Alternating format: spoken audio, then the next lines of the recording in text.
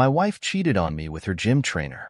So I divorced and doomed her to a life of debt and loneliness.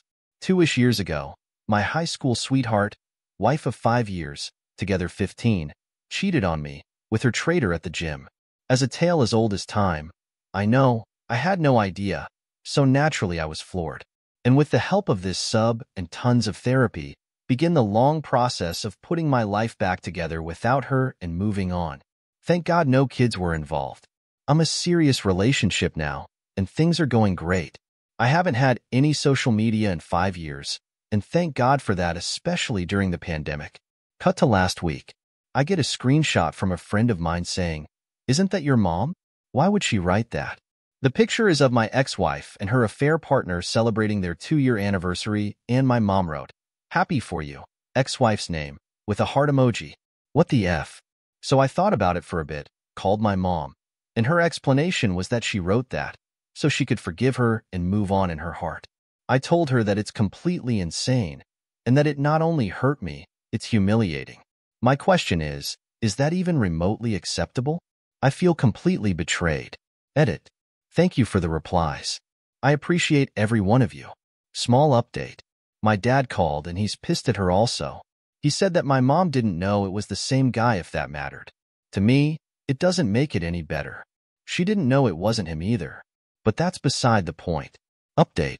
Final, two and a half year update. Not easy, but a blessing in disguise. The past two and a half years have been a whirlwind. Almost all good things.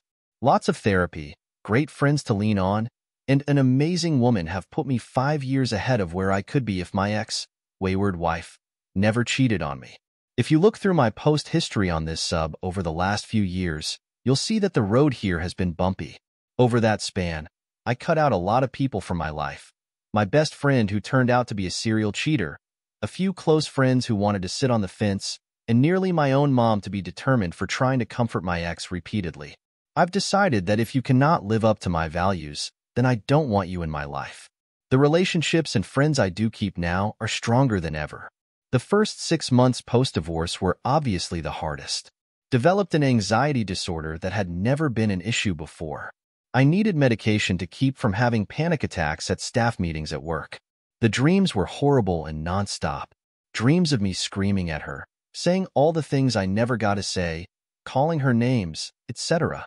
I am generally a disciplined person, and that went into overdrive when I needed to keep my head on straight. I already ate well, exercised hard, and had hobbies, so that helped me get through the day-to-day. I bought a poster and kept it on my wall with seven rules of life, and used that as my mantra to get through each day. I was discovering who I was as a person all over again, and I like that guy. Once I believed deep down that, despite what she wanted me to believe, that none of this had anything to do with me. It wasn't my fault, and that although I wasn't a perfect husband, no one is, I didn't deserve this. I started to look at this as an opportunity rather than a tragedy. About five months post-divorce, my friends convinced me that because I hadn't been with another woman in 15 years, I should try out Bumble to casually date a woman and dip my toe in the water. For the record, that was a mistake. I should have waited at least a year because although I had made a ton of progress, I still had a long way to go. After two dates with a woman who turned out to have a very strong foot fetish, I matched with a beautiful young woman who wanted to go on a walk for a first date. We hit it off immediately, which scared the hell out of me because all those things which I hadn't felt in 15 years started all over again, and I wasn't ready for anything serious.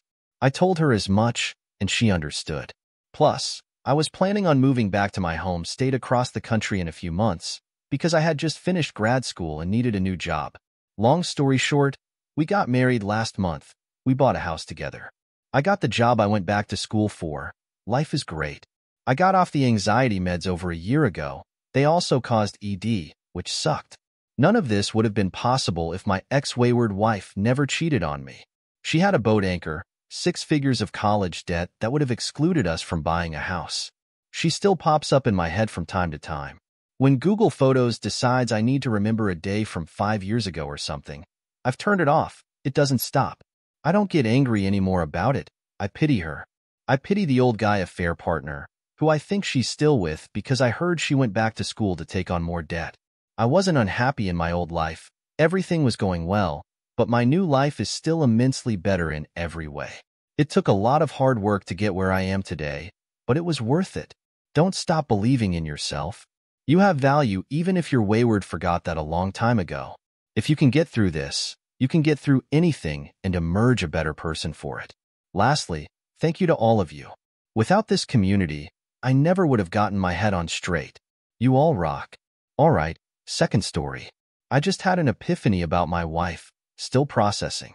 Been married to my wife for over 30 years, and we have two grown children, including a daughter who has a boy toddler. My daughter was five months pregnant with a second boy when a serious complication occurred with him. They had done a risky procedure to save him, and she was going to the doctor to an ultrasound to see how he fared from the treatment. At the same time, my wife and I were scheduled to go with a group of friends on holiday to the islands. So we were in line to go through airport security when my daughter called, crying to, to me that the baby died. I told my daughter to hold on and that I'd be right over. My wife was the trip organizer and felt she needed to go, but she tried to convince me to go on the trip anyway, saying that there's nothing we can do now anyway. I shook my head and left the line and went to my daughter and her husband's house.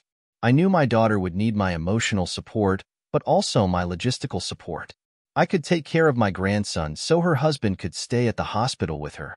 After I got there, they said my daughter would be coming back home since they need to wait two days before being able to kick off the birth, if you will.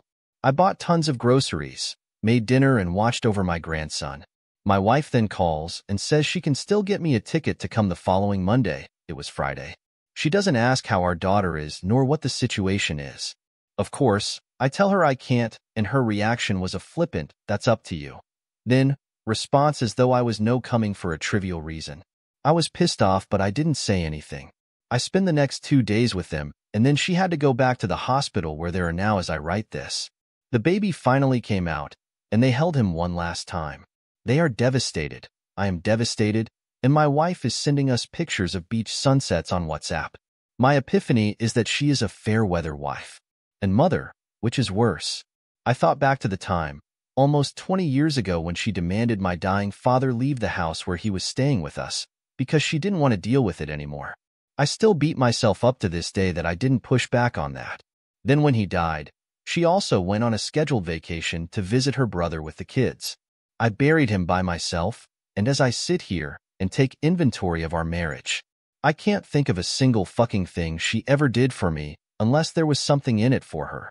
Never a selfless act towards me that I can remember, and I've made countless ones to her as I imagine many married couples do for each other. I'm very angry right now, and I'm afraid I'm going to do something rash. But what I want to do is to tell her to fuck off once and for all, and that I don't want to see her or hear from her again. Ever. Update. I didn't expect this message to get so many responses. I was angry and ranting as I had only just heard that my daughter and her husband cradled the baby in their arms before saying goodbye. I was keeping it together until I heard that, and the realization of what this all meant hit me hard. I simplified a little so as not to make my message too long. But my wife was the trip organizer. She does this every year and both friends and clients of her business come on a group trip. There were maybe 15 to 20 people on this one.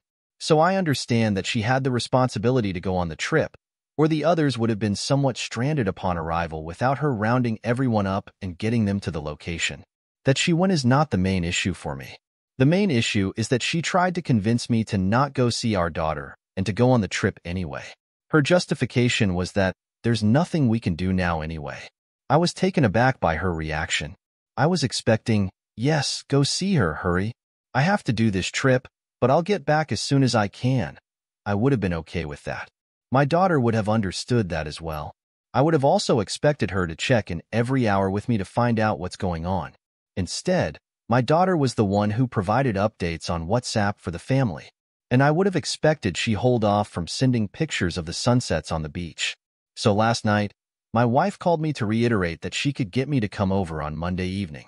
The reason is that my son is with them as well, and it's his birthday, and she thought it would be nice for me to be there. I explained to her that our daughter is coming back from the hospital in a few hours, and I'm quite sure she needs me to be there for the rest of the week. Then my wife says, but it's our son's birthday. This isn't just about you. I blew up and said, how the F is anything here about me? She then cut the conversation short. But she called back an hour later and was very apologetic and told me that it was a good thing I was there with our daughter and that I was doing the right thing. She asked me how I was feeling, and so on. My guess is something may have clicked inside her to realize what the situation really is. Another thing, everything I said about my wife is true, but I don't want to demonize her either. I know she loves my daughter and has been there for her in other ways. It's a bit of a contradiction with her. For example, when my daughter was 10, the school tried to say she had ADHD issues and was pushing of her to take Adderall. My wife didn't want her being given drugs, and so she spent hours with her every day for weeks, helping her concentrate on her homework tasks until suddenly her ADHD was gone. She became a stellar student after that. My daughter went to college and go a flat with a friend in what turned out to be a seedy neighborhood. When my wife went to see her, she flipped out and went with her to find a better, safer place and took care of the deposits and all the stuff to expedite. But there is no doubt she is worthless when it comes to a crisis. She's just not there. For example, we were all on a family trip in Australia. My daughter was about 17 and had gotten a bad migraine, which happens rarely, but does happen with her. My wife's reaction was to roll her eyes and complain that now we can't go see things she wanted to see. I told her to take my son and go, then. I lay next to my daughter on the bed in the darkened room until she fell asleep for an hour and her migraine subsided. I find it puzzling that she takes someone else's distress and an inconvenience to herself. After sleeping on it, I'm not enraged as I was, but I don't see how I can continue being with my wife. I'm going to leave for a week or two on my own soon and I'll take that time to reflect on what to do. And by the way, thank you all for your comments. All of you. Many of your responses provided me with insights I hadn't considered. The big one being that my daughter already knew what I just realized yesterday, only that she hasn't held it against her.